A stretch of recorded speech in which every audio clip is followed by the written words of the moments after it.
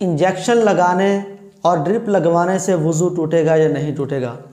इस मसले को जानने से पहले हमें एक और मसला जानना ज़रूरी है कि उसूल ये है कि अगर जिसम से इतना खून निकले कि जो बहने की मकदार हो और वो खून निकल कर जिसम के ऐसे उज़व पर बह जाए, ऐसे हिस्से पर बह जाए कि जिसका वज़ू या गसल में धोना फ़र्ज़ है तो इस सूरत में उसका वज़ू टूट जाएगा।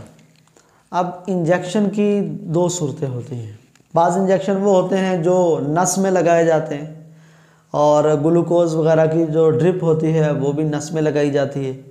नस में लगाया जाने वाला जो इंजेक्शन या ड्रिप होती है तो उसको लगाते हुए वो पहले खून बाहर सरिंज में खींचते हैं और वह खून इतनी मकदार में लाजमी होता है कि जिससे जो बहने की मकदार बन जाए।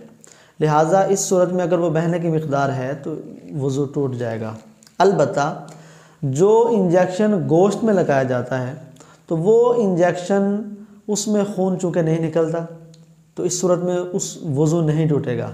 अलबत् अगर गोश्त में इंजेक्शन लगा और गोश्त में लगने के बाद खून निकला और वह खून इतना है कि जो बहने की मकदार है तो इस सूरत में भी उसका वज़ू टूट जाएगा।